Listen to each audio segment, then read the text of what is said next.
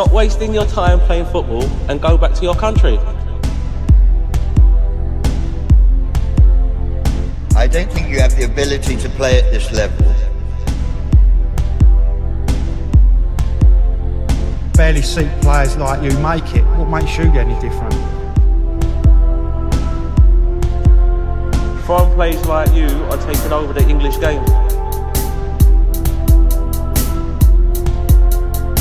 I'm sorry, just don't feel comfortable with you playing at my club. Why are you playing football? You Won't be able to adapt to the English game. I Don't look like you have the speed to play football. I don't think you're going to succeed.